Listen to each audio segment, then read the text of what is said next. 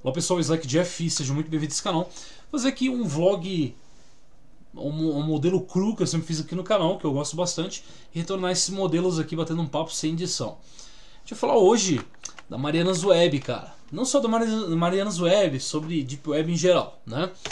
É, se a gente fazer uma breve, breve, pesquisa, pesquisa aqui, eu vou usar o Bang aqui do Duke Duke Go, é, com Marianas Web, a gente vai ver aqui uma pesquisa no YouTube é, um monte de vídeo aqui falando sobre a parte mais obscura da internet, que é a Marianas Web, né, da Deep Web, a parte mais é, gente que acessou e meu Deus, como conseguiu acesso, é só pessoas que são crânias né, para ter acesso. Eu queria falar que isso é mentira, né? Não existe camadas da Deep Web, né? não existe. Existem sim redes diferentes, tá? É, como por exemplo aqui, ó, a Deep Web em si, na verdade, é, o que, que ela é? Ela é, ela contém aí sites que não são indexados por buscadores, como por exemplo o Google, é, o DuckDuckGo, o próprio entre outras ferramentas, outros buscadores, tá? Então eles não são indexados, né? não são vistos facilmente. Então a gente precisa também uma ferramenta específica, é um proxy, por exemplo, para fazer acesso a essas redes isoladas. Então a gente pode basicamente pôr aí a Deep Web como uma rede isolada, né? Então a gente tem vários servidores aí, é, servidores aí da Deep Web, tá? A gente tem, por exemplo, o, a Onion, né? A gente tem acesso aí com Tor, tá? Com Tor, por exemplo, gente, o Tor é um, um serviço, né? A gente pode usar, por exemplo, o Tor Browser para ter acesso à rede Onion, tá? É, aqui no, no, no, Tor, por exemplo, se a gente tem o serviço ativo na nossa máquina, a gente consegue usar qualquer navegador simples. O navegador aí que você usa para Surface, como por exemplo o Brave, é, o Firefox, o Chromium, o, o, Chrome, entre outros navegadores. Se a gente tiver acesso a proxy, a gente consegue botar, adicionar o proxy lá do Tor, né, 127.0.0.1 com porta 9050, por exemplo, a gente consegue acesso a Onion. Tá? A gente tem, por exemplo, aí 2P, é, é como se fosse o Tor aqui, né? É uma redezinha também isolada, né? Onde tem acesso à rede I2P, a, a gente tem a ZeroNet, entre outras redes, tá? Cada uma dessas redes aqui são redes diferentes, tá? Jeff, eu tenho acesso à visualização, é, por exemplo, da rede Onion, né? Então, endereço, lá, lá, lá, uma, uma chave RSA gigante, pública, gigante, .onion, eu tenho acesso ao navegador cru, por exemplo, Brave aqui, ó. Eu não consigo acesso, né? Deixa eu abrir aqui, ó. Por exemplo, aqui, ó, sites deep, tá? Ó, eu vou entrar aqui, ó, tá, tá, tá, uma, uma chave RSA, é, ponto .onion, ó. Eu consigo acesso a esse link aqui no meu navegador cru, sem proxy? Não, eu não consigo, tá vendo? Ó, ele não consegue achar, né?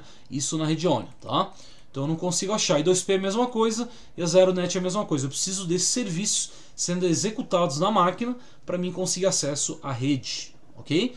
Então a gente não tem só essas redes aqui, tá? A gente tem vários tipos de redes aqui é, da Deep Web, né?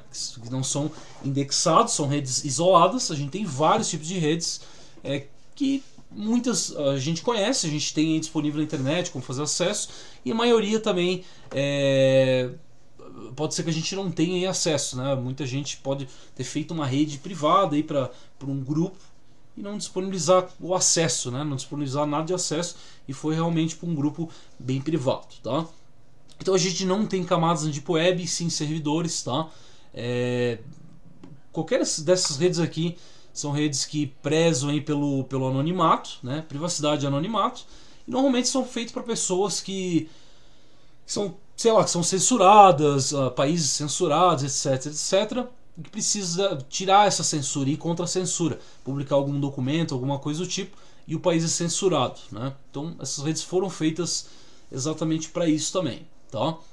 Então são redes que prezam por isso, muita gente gosta desse anonimato, é, da, da, privacidade e navega por essas redes. Né? A gente tem coisas normais que teria na Surface, como por exemplo é, fóruns, né, listas de discussões, etc. E-mail, que normalmente vai rodar somente nessas redes aqui, ou por exemplo na ZeroNet, que eu tenho vídeo aqui no canal, é, a gente tem um serviço de e-mail lá que roda só lá na ZeroNet, tem serviço de e-mail que roda só na I2P, isoladamente, né?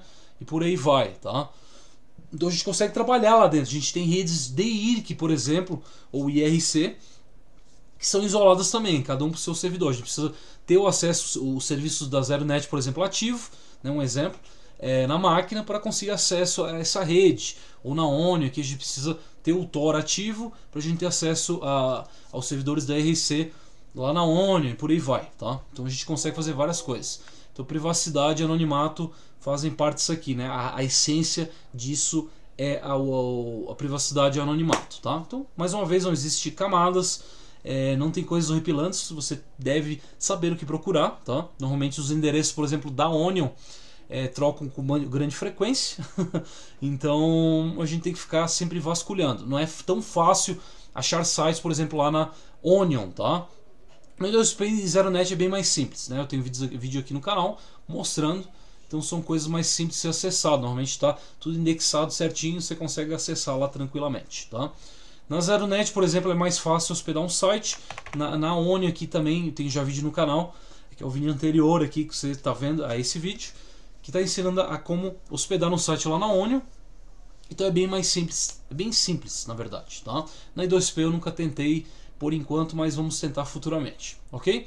Então não se preocupe, não tem essa questão de, de camadas fique tranquilo, saiba o que pesquisar, né? principalmente lá na ONU, que você estará, estará a salvo. Tá?